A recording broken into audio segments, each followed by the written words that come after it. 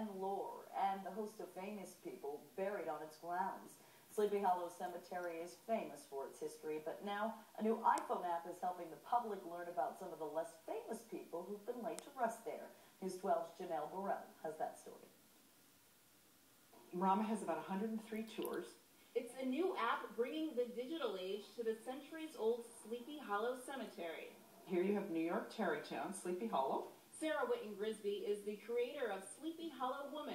It's a Rama iPhone app Whitten Grigsby put together with the goal of showcasing some of the lesser-known historic women buried in the cemetery through a walking tour of their graves. I was really intrigued to discover that not only are there a lot of famous women buried there, but that also um, there are remarkable heroic women who really changed the course of history in a positive way. 16 women are featured on the tour, among them the mothers of Andrew Carnegie, William Rockefeller, and the founder of Chrysler. These were, you know, women of steel who really contributed to their sons' or husbands' successes. Now the tour will start you back here over at the Old Dutch Church and then using your iPhone app it will walk you through the entire cemetery for about a two mile journey that lasts just over an hour all the narrative is on the screen for you, and there are specific walking directions in between, you know, the mausoleums and the headstones and the sculptures so that you know exactly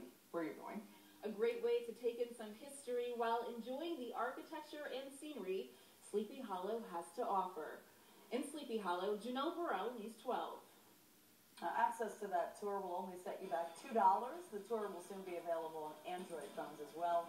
Stay with us, everyone. More news after this short break. Election night, one of the biggest nights